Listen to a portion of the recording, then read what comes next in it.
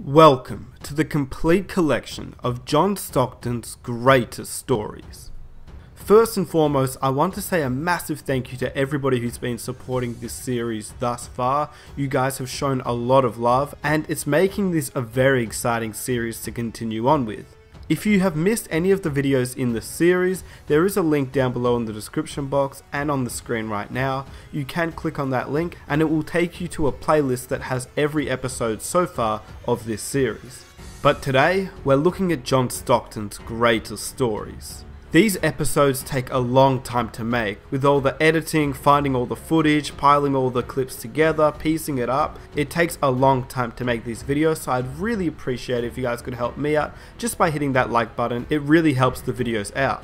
If you are new, feel free to hit that subscribe button and don't forget to hit that notification button so you never miss an episode in this series. Lastly, comment down below which player you would like to see next in this series and without further ado, Welcome to the complete collection of John Stockton's greatest stories.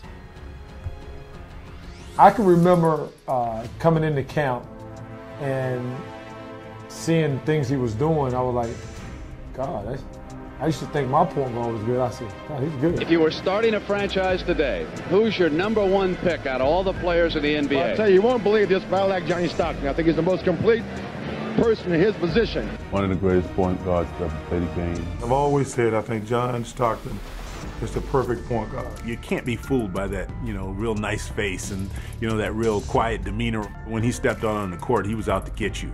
A guy who probably controlled a team and a game better than anybody I've ever seen. Probably one of the greatest players to ever play the game in his position. His sense of where he was on the floor, his, his peripheral vision, You'd say, how did he see him? Huh? Oh, he's over there. Boom, he throws the pass over there. You can't teach what John Stockton can see. It's one of those guys, every team wants a guy like John Stockton. John Stockton was he's one of the best I ever played against, but those were illegal picks. Let's get that out the way. I played against John since I was 13 years old, and he's a much better outside shooter, much better with the basketball. And and when you're talking about, you know, Nash and Stockton, I just think from a, a toughness standpoint, I, I don't I don't think there's a comparison. Well, he's the best point guard of all time. When you played against John, I mean, you, you had to bring your lunch. I mean, you know, there, there was a toughness about him that he carried that, you know, I don't know if we have anybody in our game today that that that really brings that that to the table.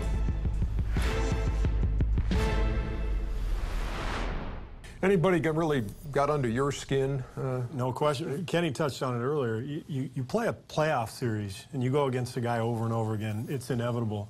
And we played Utah two years in a row, six games, so 12 games against John Stockton. John was one of the strongest guards in the league. I don't know if you guys felt that. Oh, I, was, I got hit by one of them screens. Yeah, yeah he was, but, but the toughness, the, the, the competitiveness, mm. and I have the greatest respect for him. I see him away from the court, love him, great guy but he was a dirty bastard. oh!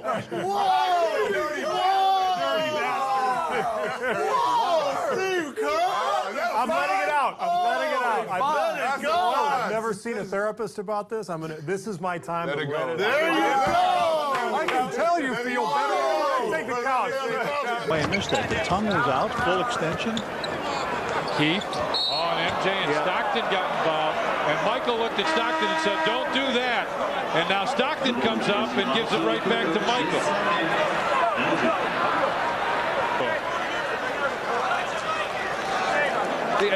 We started this off, this ball game off, by saying that he does little things like that to drive you nuts. oh my John, John was a person that would this stretch is the, the boundaries. The, PG version of what yeah, I'm person. Am I allowed to say that word on TV? It's already sure. sure. you got it. To NBA TV, you are. You say a lot worse than Come that. on. No, no, no, no, not on NBA TV, I don't. You, you can say you can say dirty as it's much like as HBO. NBA TV is like HBO. I think that I think that John understood. There's a there's a, a, a, a personal space law, and he understood how to invade that and as a guard. You know, when I'm talking to you, Ernie, I'm going to talk to you here. But John Exactly. This is a- The- European- uncomfortable even as we Play the speak. kind of European way. A little bit closer than you said. You're shooting a jump shot. It's respect that a guy's shooting a jump shot that you can't block it, so you kind of just contest. John made like he could block it, and he'd get under your feet, or, or an op, when you're running out, the ball is out of bounds. He's running out. He'd, like this trip that he would do, and all of a sudden the guy would trip and they throw the ball in at the same time, and he'd go down and lay it in. So he had a lot of those type of bastardly moves. Uh, no. the first person that you ran into that that like bust your ass that you you knew that was like man this shit for real like who was the first person that that you ran into and it was like man it's a level John Stockton. John Stockton embarrassed me, dog. Like John Stockton made me feel like, like, damn, dog. Like, do I know how to play basketball? You know, you had that moment where you like, shit. Like, am I sorry, dog? Like, what the fuck? Am I, well, you know, like, what the fuck is going on? I had never been taken out the game so fast. He had ripped me like twice. Yeah. Like, and not even like Just being ripped stole the ball. It's just like being heady, smarter than you. you know, I'm going for the outlet the wrong way. You know what I mean? Boom, steal. You know what I mean? I get the loose ball. Oh, he gone, steal. I'm like, yeah, I'm gonna have to do something. he see your mistakes And he was Everything. tough, Hey, he hard was- nosed he was- too. hey, Take you under the The pig, push you into screens, the pig. yeah. Like Hey, I remember. was he way bigger than what you thought he was Yeah, he was. he was way bigger Yeah, than what I he thought was he a was lot tall. He was a lot taller. Yeah. Like you know, when you look at him on the court on TV, you know, like his look could be deceiving. It's almost like how Steph Curry looked. Like on TV, he looked like, oh man, like he just looked like a regular dude. Yeah, but like right. when you stand next to him, like, yo, this motherfucker like he big built like an athlete. Yeah. Yeah. John Stockton, though, he would like. He was so dope, dog, because he he walk you all the way down to the wing, Right. right? And he'll walk you to the same spot, whether you pressuring him or not. Like he knew what spot he was gonna get to. He knew oh, Where he what he was gonna like. He was fucked once he got to the spot Right, that he was gonna get to. Best point guard to ever play the game is who? Oh, John Stockton, oh. Magic Johnson. I mean, th- those are the those those two are the best to probably ever play it. What, what did Stockton do better than you? He, I think he had like three thousand. He set the table. He, I think he had five thousand more assists than I did. okay, all right. Right. And steals. I mean, He's the all-time assist leader in steals, and uh, you know people don't really talk about the steals as much as the assists. But you know he plays both sides of the court, and uh, that's what makes him a complete player. uh, look, when you look at those records, it's just it's it's amazing, and I, I just don't think he gets the due that he deserves. Well, he played in Utah. That's why. Well, yes, I, I that's that's fine, but still, I think sometimes he's left out of the mix of you know great point guards, great great point guards, and and we forget to sometimes mention him. All right, now I, I remember one story when we had lost a few games in a row. We were back east and we were in Charlotte, okay, and someone, uh, namely some a point guard named John Stockton, uh, had heard, overheard something supposedly on the radio that uh, Grandmama Larry Johnson had said about mailmen. Do you remember this? Yeah, he, he, he, he got my goat that night. Got he, goat he got He needed, he needed something to get us mailman going. went, I think, for 56 that night. Yeah, and I got every pass I think from from Stock. You wouldn't. And- you and after the- fabricated a quote. Is that is that the story you made up? A he quote? lied. He lied. Forget the fabricating. He lied. Okay. Steve, I had I had some reliable sources that told Always me get away with reliable sources. that told me that somebody had said something. I merely relayed what I had heard He's from training for a reliable career in journalism. This guy's got all the makings of No, a no, no. guy. You hear reliable source. My source told me. okay. I've never really gotten over my first year I got traded to Houston and he hit the shot over me to to send the Jazz to the finals. Russell will inbound at half court. Stockton, open three. Good! John Stockton sends the Utah Jazz to the NBA Finals. That was so many things all wrapped up into one. It was it was our first chance to go to the championship. It was really the first time we'd been able to beat Houston at anything, or, or they just year after year we kept running those guys in the playoffs, and, and to finally get over that hump That was, I think, a, a snapshot of John Stockton that we have never seen before. I think, other than the night that uh, he was honored at the Delta Center, the most emotional we've ever seen him.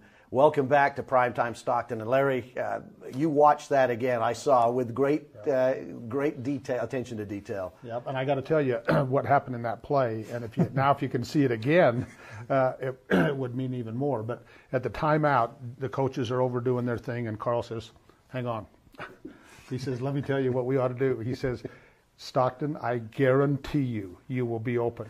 Now, and, so And that they, pick they went to stock. Now they called a pick. Okay, he didn't pick Drexler. He grabbed Drexler. Drexler wasn't going anywhere all night, and, and he didn't get called for it because they were watching Stock. And then the infamous Bill Walton, uh oh, and he drilled it. That was that had to be one of the great moments in Jazz history. Stockton, open three. I, I was going to come to you about that because so many people miss the pick, which is the reason the whole thing worked. And as Larry said, it really wasn't a pick. It was, it was like fourth and one, and you stop the running back. Well, it's it's like in a in a game like that, that I, I think one of the all time greatest games. You force a referee to make a call, make, make him make an offensive foul call, and not a lot of them would do it. So I had it in my mind that if it's any time that they're going to do it, which who knows what would happen, I said, you know what, Stock, are you going to be open? He looked at me, he said, okay. And Coach Sloan looked and just sit down, like you guys go on and do what you want to do. And I went out there, and it's like that's the only thing that came to my mind is not just say bear hugging, but hold him and, and see what happened. And when Stock was so open, when the ball left his hand, I knew it was in. It's just one of those things. So it was like, man, it was unbelievable. So- Most memorable play in your career? Oh yes, about four. That play right there, and he had a lot of them, but just that play right there, and I think that's the most excited I've ever seen John. And but it's like some of the some of the hits he took in the game for me, and people need to go back and realize half of those points I wouldn't have got unless I wide open under the basket. But just just the intensity and what he brought to the game was just I don't know, it's just unbelievable. John Stockton was one of the toughest guys I ever played against. There, uh, we had a series uh, in the playoffs. It was our first series in Sacramento, and uh, we were playing against Utah. Great Carl Malone and Stockton, and I felt that our team was in awe of them. Uh, we were younger, and so I told Coach uh, Alderman before the game. I said. Uh, on the first play of the game, I'm going to lay Stockton's ass out. and Coach said, Are you sure? I said, Yeah. I said, Trust me, Coach. It's the first game. We just need to do it. Like, you know, they're they're prepared for everything that's coming. They don't expect it. I lay him out on the screen. I'm talking about I lay him out. One of the best screens I ever did. Got my shoulder kind of in that head area too, to kind of make it a little dirty.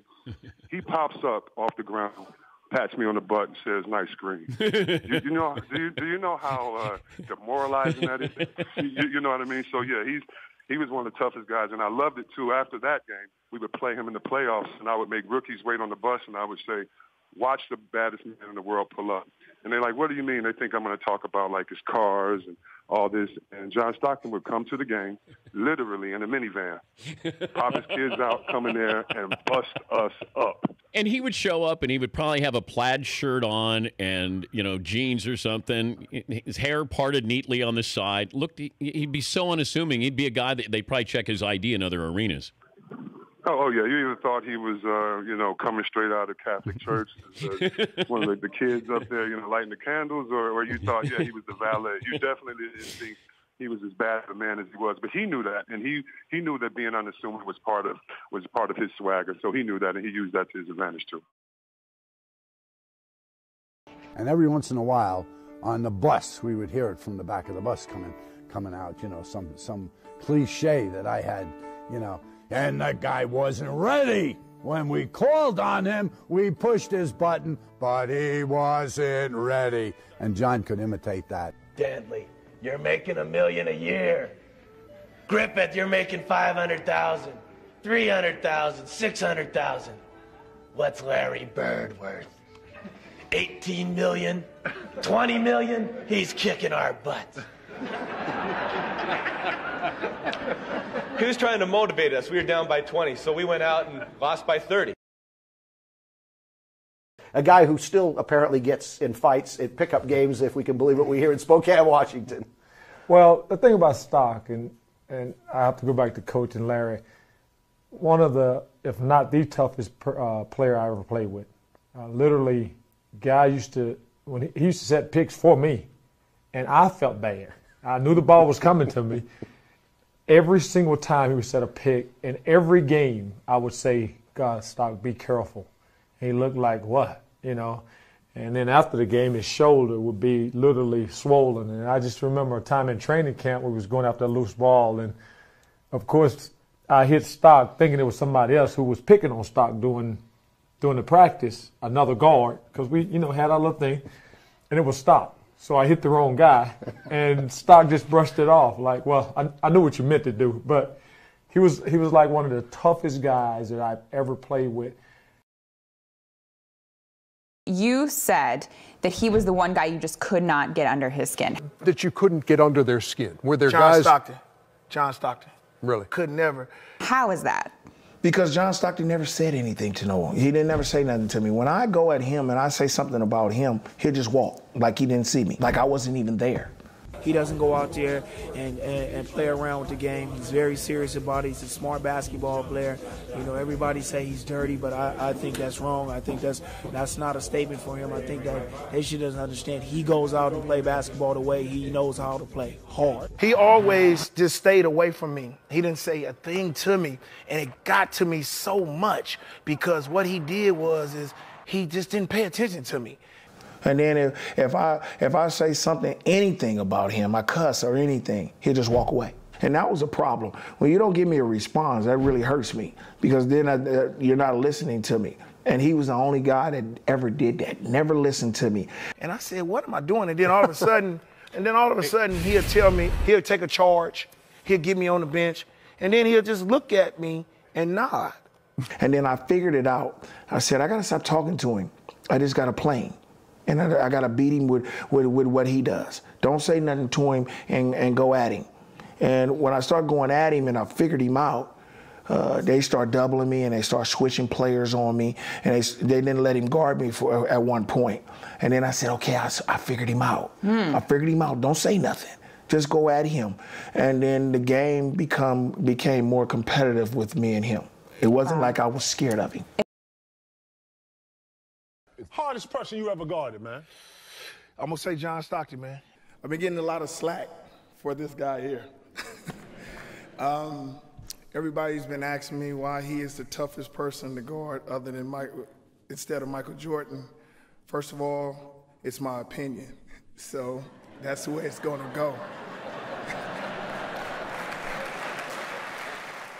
You, look made some good. headlines You today good. Because you said that John Stockton was more difficult to defend than Michael Jordan. Blasphemy to me. And you how you have to defend yourself because I'm how often to. do you really guard Michael Jordan? Man, listen, he was a guy who was uh, fundamentally sound. He would set picks. He would do the right thing. He'll shoot 12 times, make 10, he would, and all that. You he was just- just he great. wasn't- he wasn't tougher You than just- Jordan. Yes, he was. You just Oh, didn't- on. Yes, he was. Gary, you guys didn't Gary. play against him. I did. Let me ask you this seriously because when you say that, people are going to be like, "Are you joking me?" And they did today. A lot of people. Right, I know, a lot of something people, that's- and let I gotta get a- not enough just- time to explain. Not explain just it. based off the number of times that you saw John Stockton, but you're saying that he was more fundamentally sound than Michael Jordan. We were more athletic than he was. We were mad because he said picks and said he was dirty. If a guy comes and shoots 12 times, makes nine of them, shoots eight free throws and makes seven of them, that's 20 something points and have 15 assists and four steals a game and works out with Carl Malone and can deal it on a continuous basis, and I have to play against him nine and seven and nine times a year, that is hard to guard. No, I believe that. Gary, let's be honest. You just didn't like playing him because he wouldn't. He, he wouldn't. He wouldn't talk back to you. True, that's true. That's true. That's how, that's the thing too. He wouldn't talk back to me. With Michael Jordan, he's a competitor. He's gonna go back at me. That is easier for me to deny him the ball and do a lot of things. Then he gave you 50. He didn't give me 50. you gotta read your get your stats right, baby. Um, just a little short story about him. He's the only guy. When I got in the NBA and I wasn't as good as I thought I was going to be for the first two years, uh, I watched him. And when I watched him, he's a player that all kids watch right now. I might have been more athletic than he was, but he did it the same way every night. Every night. Uh, for a guy, for him to only play 32 minutes, come in and shoot the ball 12 times, make nine or 10 of them shots, shoot eight free throws and make seven of them, and then have 15 assists and four steals. That's the reason why he's the hardest person I ever had to guard, and that's why I respect him very much.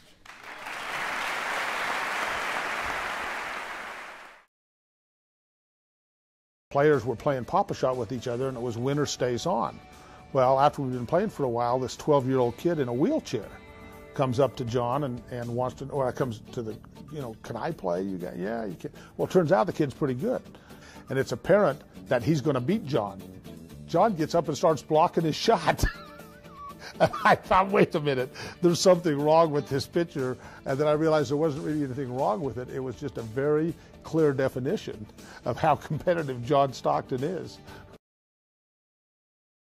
One of the stories I got is his toughness.